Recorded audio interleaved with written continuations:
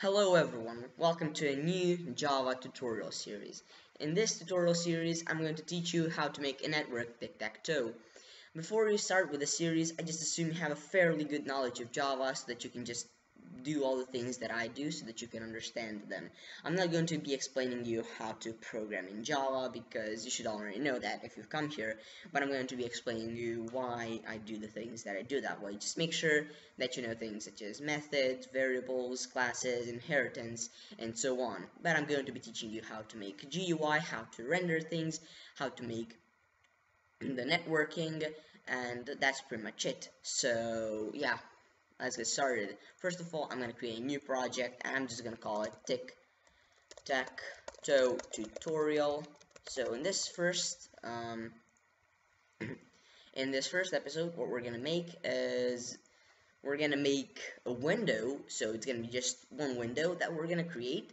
And that one window is going to have a JPanel on it. And then I'm going to teach you how to render things onto that JPanel and that's pretty much going to be all that we're going to do in this first tutorial. We're going to make a window and we're going to render on that window and that's going to be it for the first tutorial.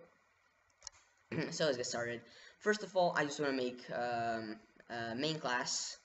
So I'm going to put it in the game package. So game dot uh, main maybe? Or let's just put it in the game package. So we're here, we're going to create a main class. What the main class is going to have is it's going to have a main method, just like every program must have.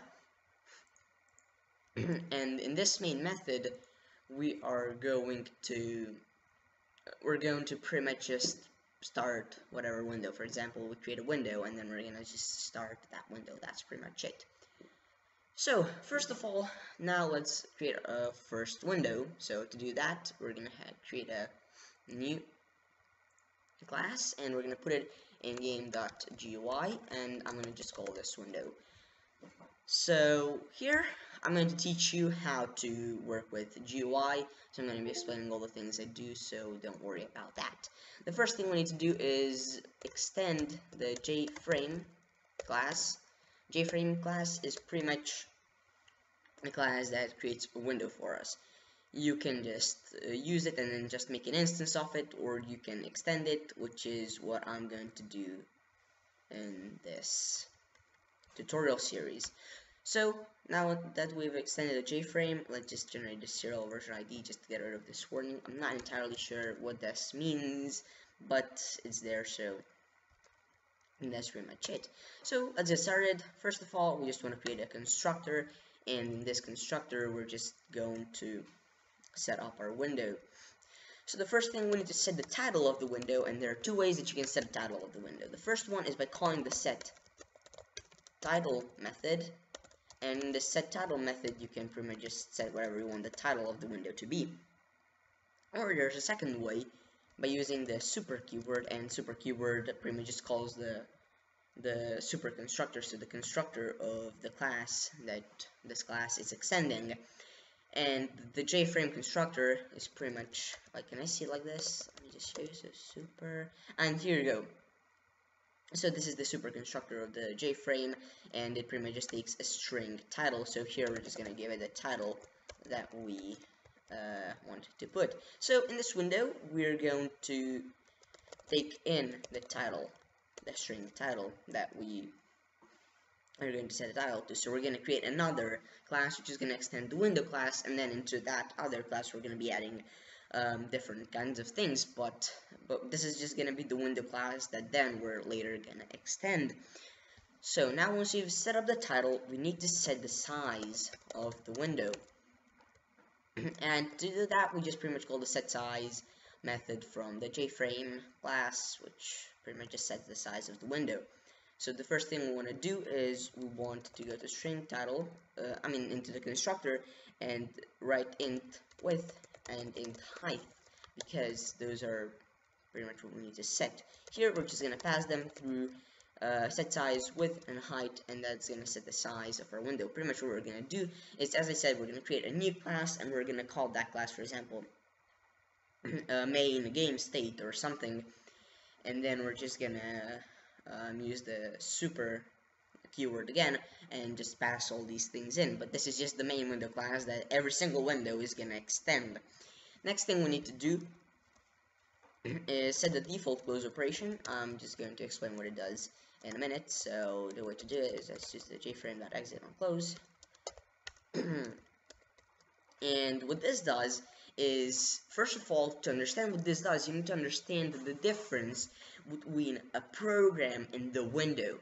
So what we think of as a program is just a window right? But there's more to it. First of all program is something that is just that does your program doesn't need to have a window.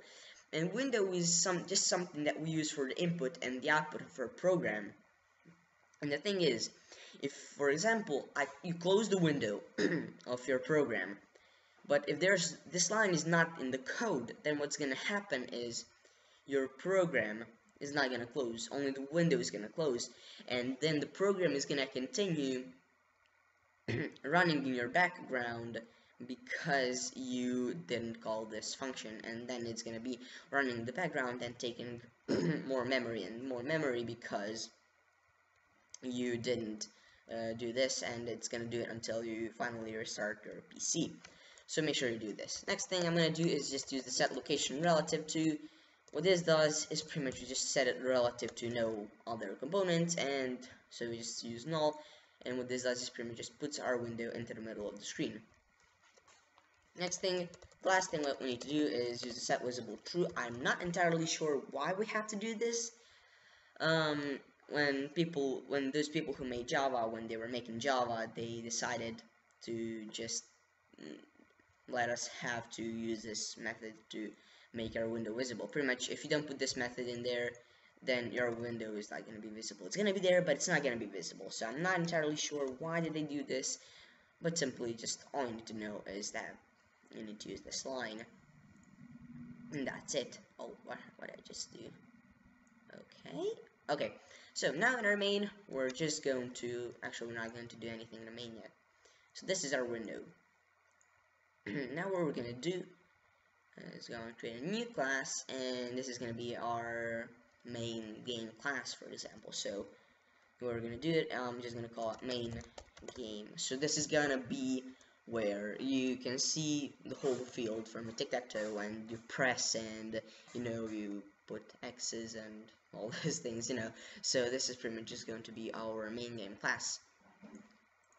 In this main game class, the first thing we need to do is make sure that it extends the window class. So, um, so that means that it will create the window pretty much. Now, you might ask me, then if that's what we do, then why didn't we just extend the, the frame from here? Well, the reason why we didn't do that is because um, our JFrame just needs a few of these settings there, right?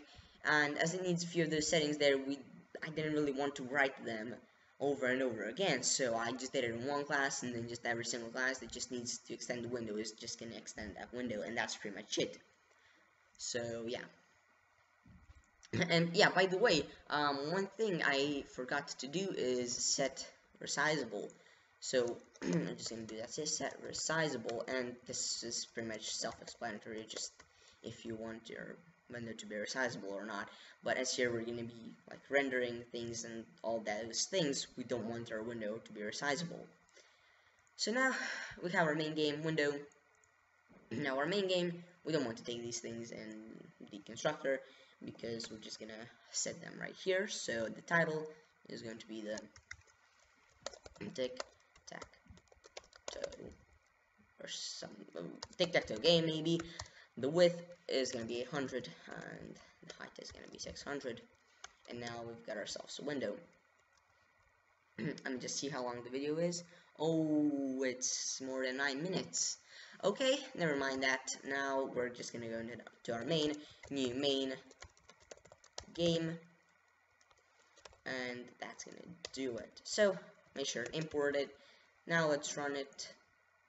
And we've got ourselves a new window.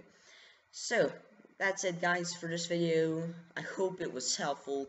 Make sure to like if it was. Subscribe for more of this content. I'm not entirely sure when the next episode is gonna come out but the point is, I still have to prepare myself for making this series. I can't just go and write all that code out without knowing, without really knowing the way that I'm gonna do that. So I'm first just going to like finish my game, and then I'm just gonna rewrite all that code because you know it would it would kind of be bad if I just go and just write all that code from the first time, and then if I mess somewhere up, I have to change things. and that would not be good. So I'm not sure when the next episode is to come out, but it's to come out soon. So make sure to subscribe and click that bell button to get notified when it comes out. Thanks a lot for watching, and I'll see you in the next video. Bye.